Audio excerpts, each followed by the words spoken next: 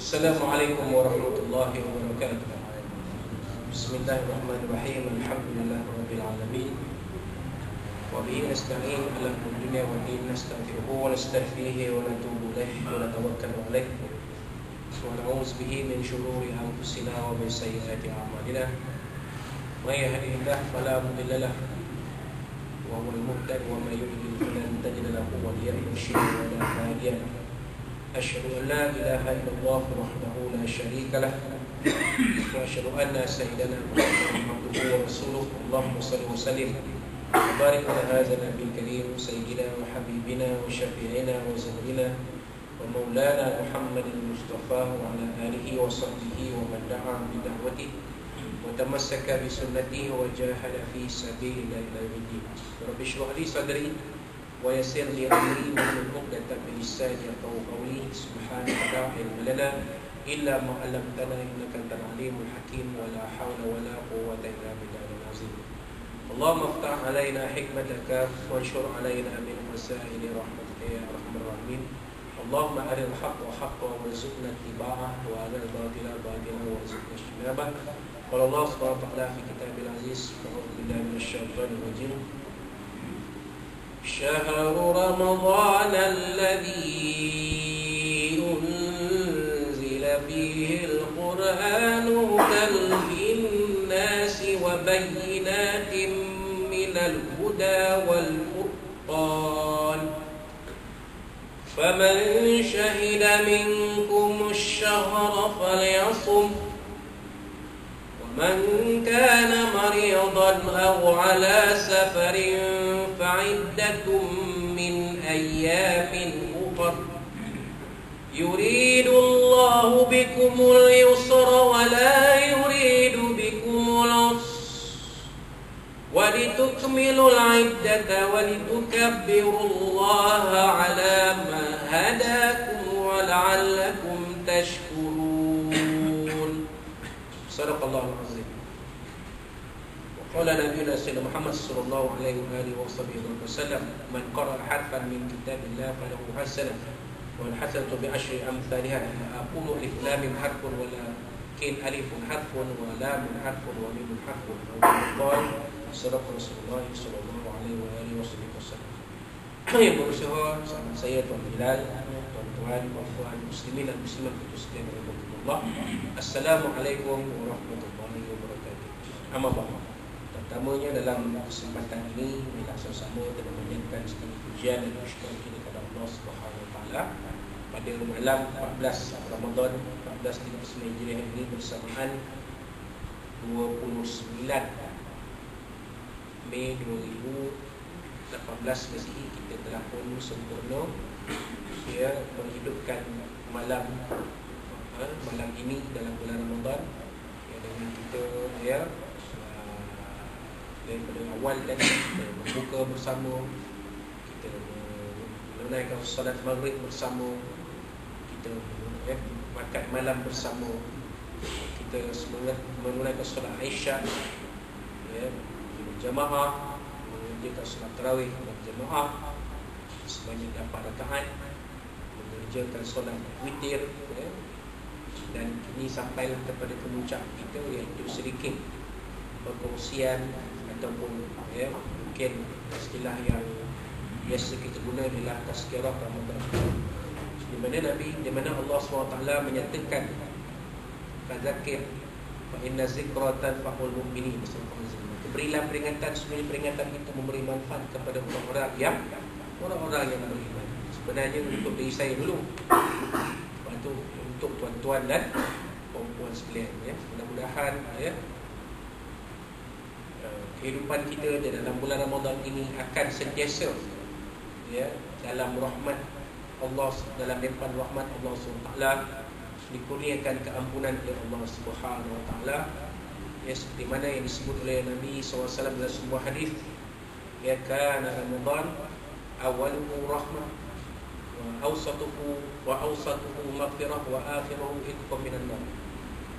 Adalah Ramadan ini kata Nabi SAW awal-awalnya ialah rahmat sepertiga awal ialah rahmat kita dah rasa ya kak ya dah rasa 10 hari yang pertama ni rahmat dari Allah Subhanahu Wa Taala. Tidak rasa. Ya, dalam bulan lain boleh kita buat solat sunat sampai 8 rakaat? Kalau di setengah-setengah di, di masjid-masjid sampai 20 rakaat itu pun ada yang malah juga. Ya, kalau tuan-tuan tengok eh, dalam YouTube tuan-tuan tengok bila solat tarawih ya. Kalau kita kata Masjidil Haram Masjid Nabi ni ala Masjidil Haram Masjid Nabi memang ustaz. Ya, orang tak putus-putus masuk ustaz. Penuh sepanjang 20 rakaat tarawih kalau dikata dapat 36 pun orang akan tunggu sampai 36 rakaat. Itu masjid Nabi sendiri, masjid yang, Nabi SAW sebut kelebihannya. Kalau Masjidil Haram 1000. Kalau Masjid Nabi 1000, kalau Masjid Aqsa 500. Masjid Aqsa pun penuh tuan-tuan. Israel pun tak boleh nak kata apa. Israel yang bertempur dengan rakyat Palestin lewazah mengguna peluru hidup okay. Mereka tak mampu nak menghalang orang-orang Palestin Orang-orang Islam Palestin Masuk ke Masjid Aqsa untuk mengerjakan solat tarawih Mereka tak mampu tuan-tuan Mereka biar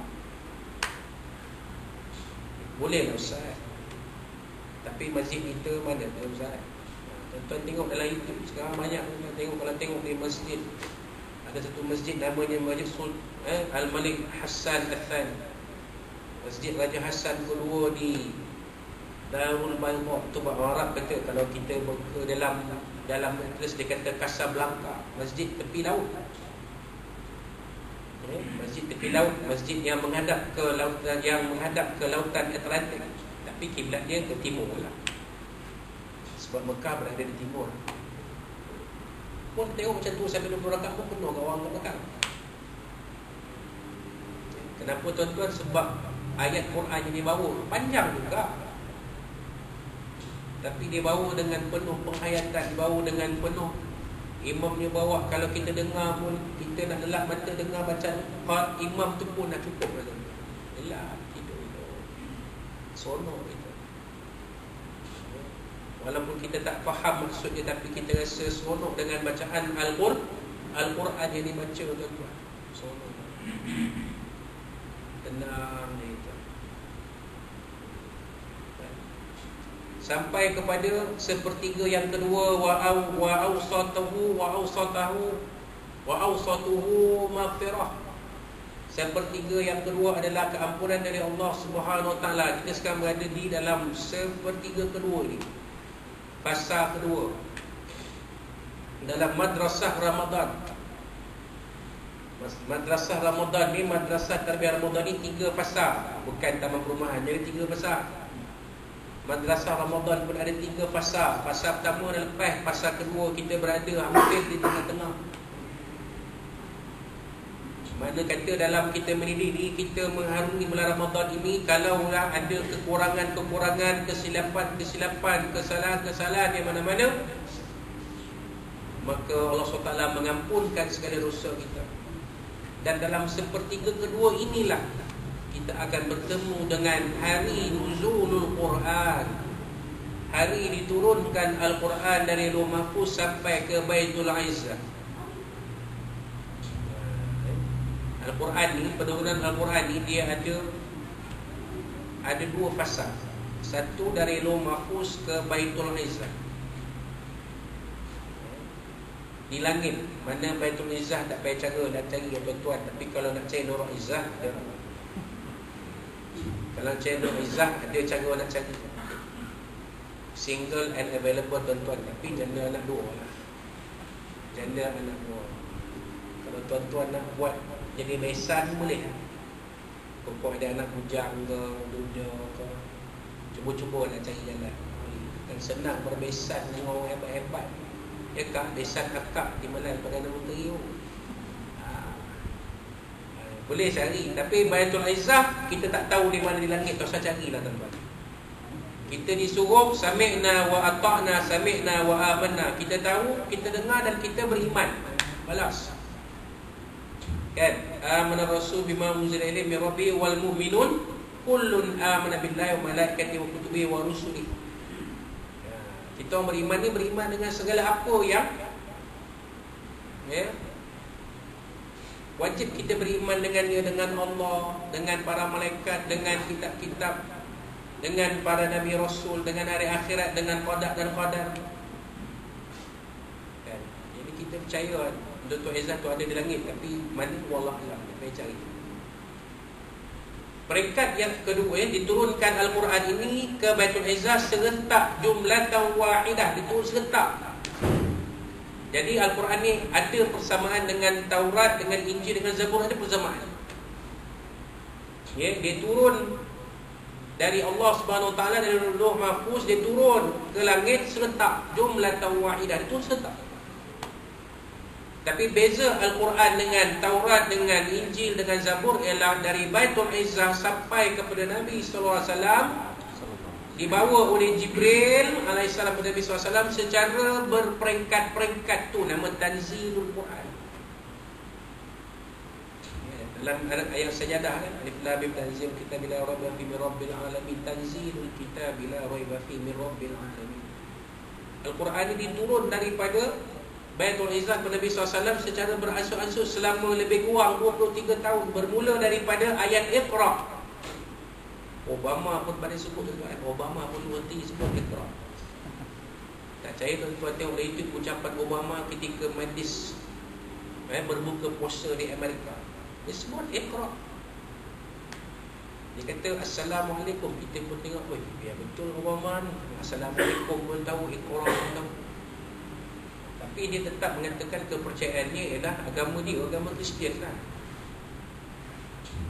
Sebab dia dibesarkan dalam masyarakat muslim maka dia kenal apa itu assalamualaikum maka dia kenal apa itu iqra. Daripada ayat pertama iqra bismi rabbikal ladzi khalaq. Ayat 1 hingga 5 surah al-alaq sampailah ayat akhir diturunkan pada Allah kepada Nabi SAW 8 hari sebelum kewafatan baginda iaitu ayat 281 surah al-baqarah.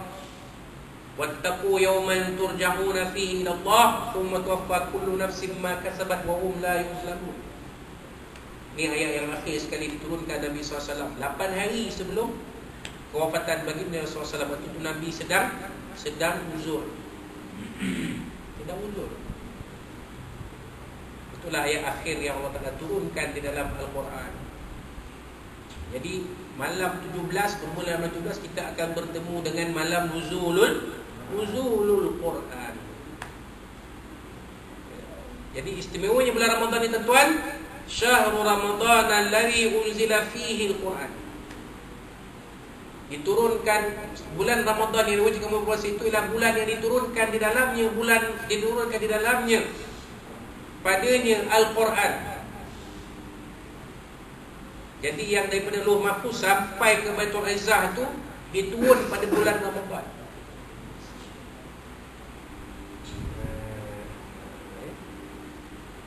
Dan ayat pertama turun kepada Nabi SAW Iaitu ayat Iqra' itu Dia turun kepada Nabi SAW pada malam 17 Ramadhan Itu ada ulama mengatakan Mentakwilkan Allah SWT sebut ya Bismillahirrahmanirrahim Inna anzalnahu fi laylatil qadr Semuanya kami turunkan Quran itu pada malam laylatul qadar Ada ulama mentakwilkan malam tu qadar itu Dah Allah Ta'ala tetapkan iaitu pada malam 17 Ramadan. Ha, malam Lailatul Qadar. Ada ulama kata macam tu. Tapi Allah Taala tak kata itu, Allah Taala kata Allah Taala kata turunkan kami turunkan Al-Quran ini pada malam Lailatul Qadar. Bila tak tahu. Tapi ayat pertama turun kepada Nabi SAW ialah pada malam 17 Ramadan tahun 40 Gajah. Waktu itu Nabi SAW berada di dalam gua Gua Hira Tak besar mana Gua Hira tu kalau tuan-tuan pergi Tak besar mana Gua Hira tak besar mana pun Nak semayang pun Orang seorang boleh, boleh muat. Tak boleh ramai-ramai. Nak jemaah pun 3-4 orang. Dia bukan besar Gua Hira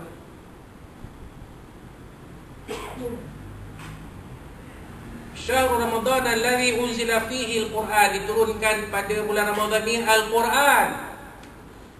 Hudan linnas. Petunjuk untuk sekalian manusia mana Quran ni bukan untuk kita saja tuan-tuan. Quran ni juga untuk orang-orang bukan Islam. Orang-orang seluruh. Sebab perutusan Nabi SAW ini wa ma arsalnaka illa rahmatan lil alamin. Dan bukan dan tidak kami utuskan kepada Muhammad melainkan menjadi rahmat untuk sekalian alam. Mana Quran yang diturunkan Nabi SAW ni isi kandungannya Nabi kena sampaikan kepada semua manusia. Sekarang Nabi dah wafat lebih 1400 tahun. Al-Quran itu ditinggalkan kepada dia wariskan kepada kita umat Islam. Kita lah yang kena sampaikan Quran ini kepada orang-orang ke Islam di luar sana.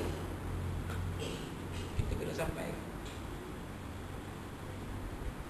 Dan isi Al-Quran itu untuk seluruh manusia. Isi Quran itu. Allah Ta'ala tak kata hudan lil mu'minin atau hudan lil muslimin. Ta'ala tak sebut tu. Allah Ta'ala kata hudan lil nas. Sedangkan ayat itu ialah ayat Madaniyah itu diturunkan selepas Nabi SAW berhijrah ke kota Madinatul Munawwarah. Tapi kenapa Allah Ta'ala guna hudan linnas? Sebab isi Al-Quran itu untuk semua manusia. Jadi kita kena sampaikan. Ya.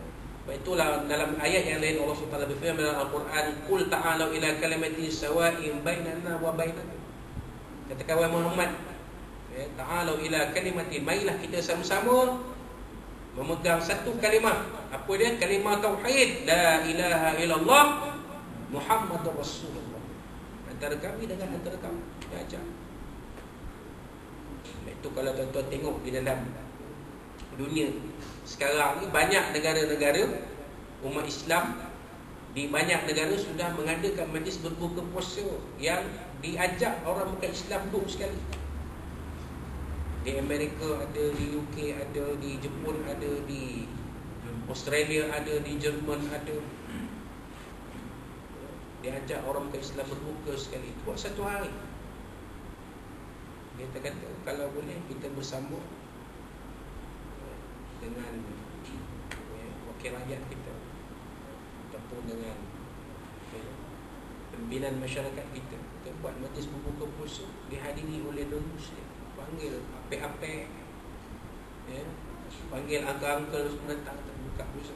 Eh saya tak kami tak puasa bukanlah kita tak tahu dia tak puasa. Kita tahu dia tak puasa. Tapi untuk mendekatkan mereka kepada agama Allah Subhanahu wa taala ini usaha kita kita kena buat. Kita kena buat. Sebab Islam ini Al-Quran ini hudan linnas. Petunjuk kepada seluruh manusia.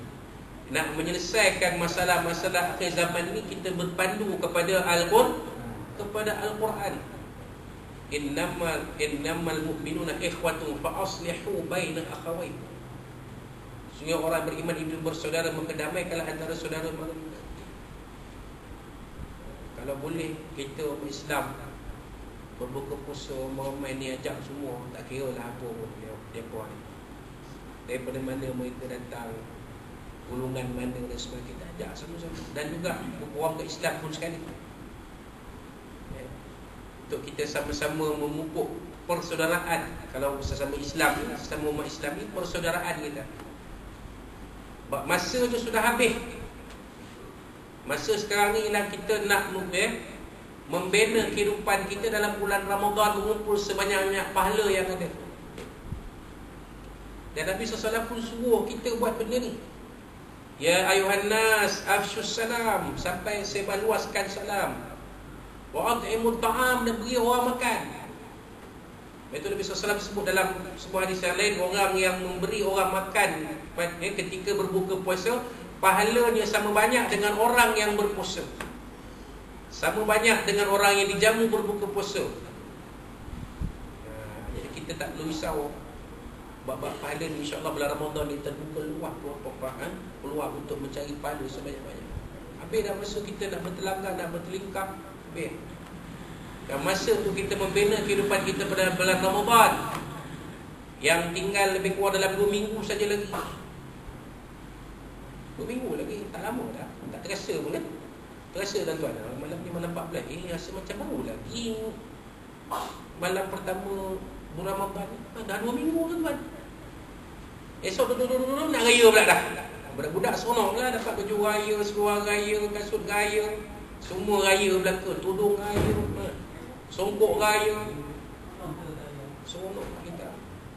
Yang muda-muda yang ya, yang muda-muda memang dah seronok yang tua-tua pun seronok juga. Seronok juga kita yang tua-tua ni.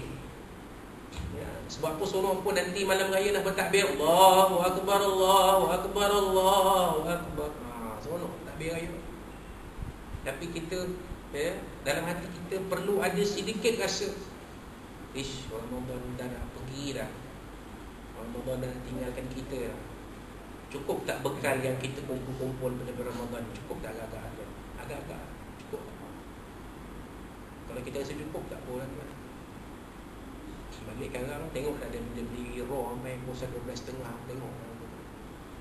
Kalau rasa tak cukup balik kan sambung lah terawih Kalau rasa tak cukup. Balik kita bertadarus. Baca dah Al-Quran.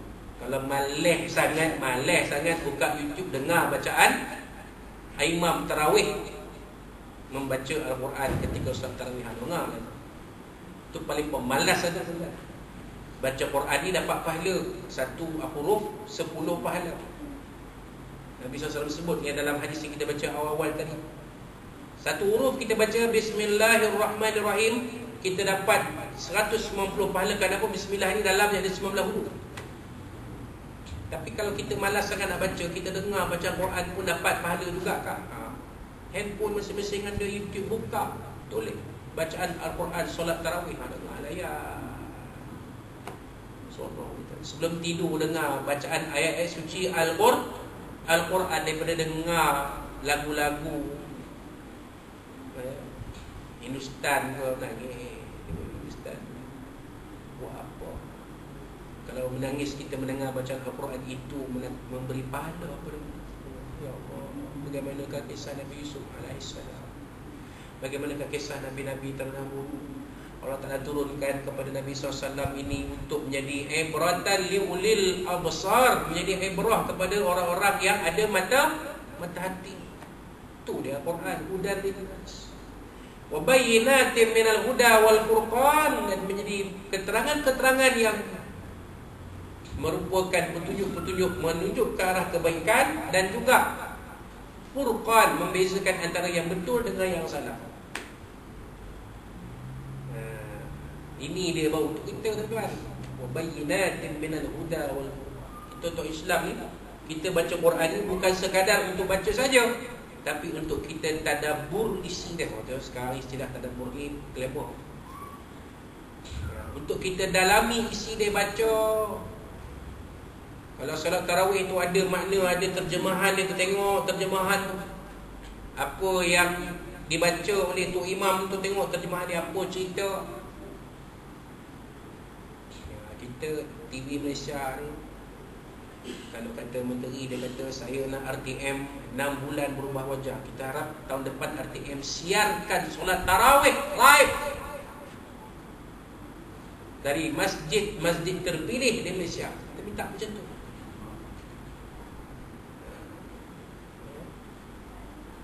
Sebab tak ada lagi tuan Kalau di Masjidil Haram Masjid Nabi Masjid-masjid di negara-negara Arab Ada secara langsung Solat tarawih Secara langsung live.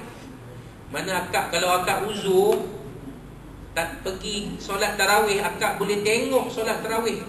Boleh dengar baca Al-Quran Dapat pahala.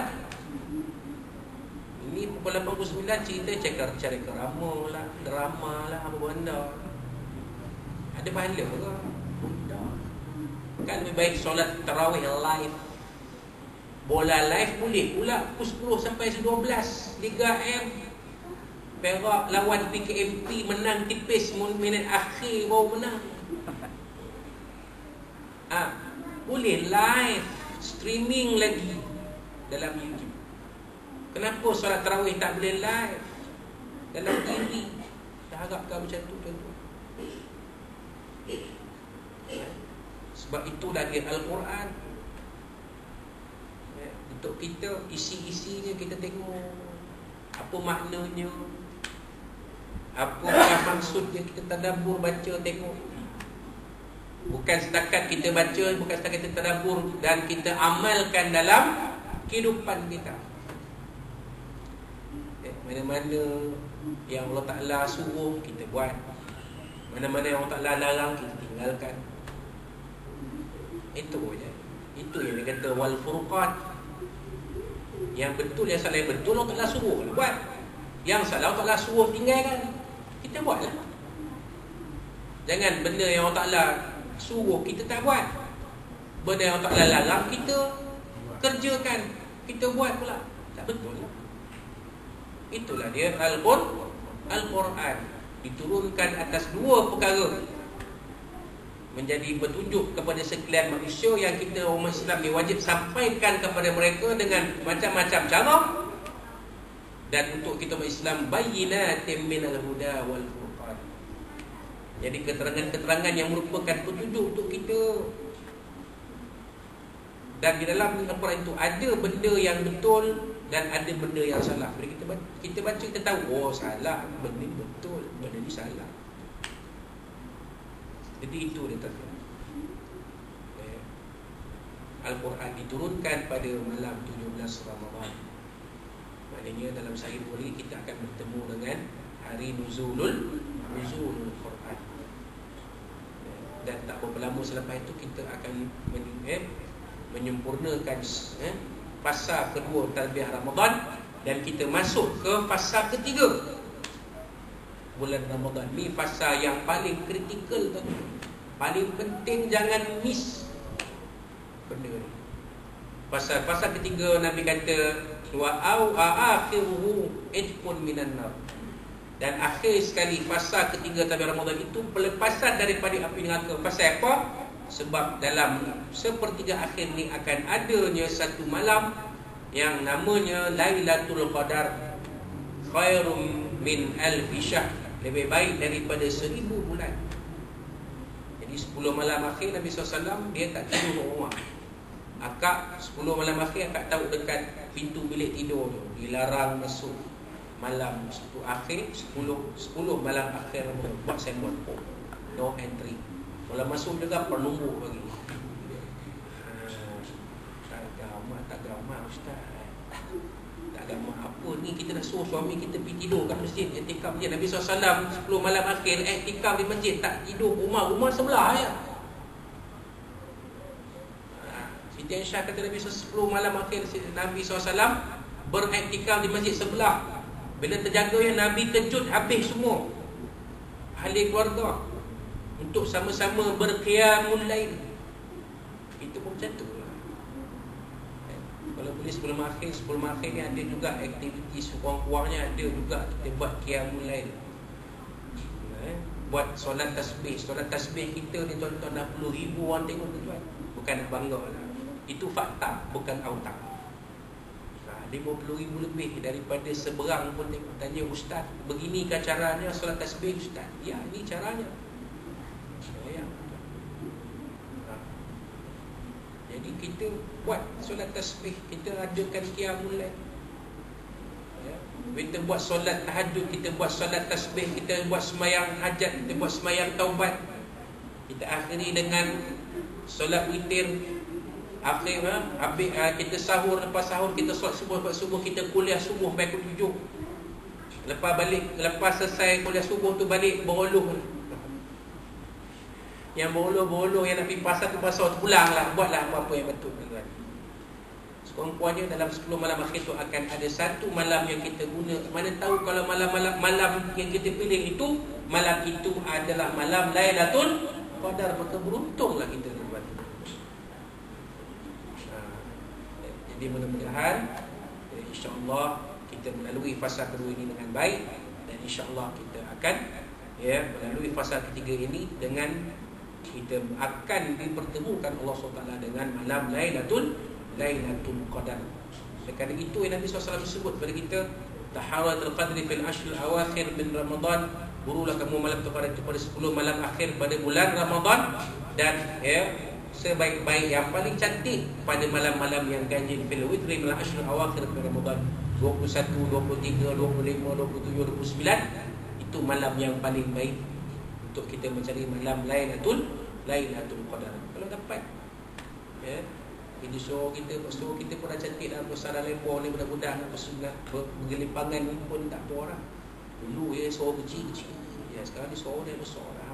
syukur Maka kita ambil satu malam Ataupun mungkin beberapa malam Kita adakan program Qiyamul Qiyamul lain hmm. Jadi mudah-mudahan ya, Kita dapat manfaatnya bersama Bersama-sama insyaAllah Jadi itulah ya, sedikit perkongsian Apa yang saya mampu kongsikan sedikit tentang uh, Bulan Ramadan ini. Mudah-mudahan ya, kita ya, dalam bulan Ramadan ini kita dah berjaya memaksimumkan ibadah kita yes dalam kemampuan kita. Dan mudah-mudahan nanti kita sampai tiba ya pada satu Ramadan kita akan jadi orang yang kembali kepada fitrah ya, bersih dari segala noda dan dosa. Dan ditambah pula dengan kita melaksanakan kewajipan membayar zakat.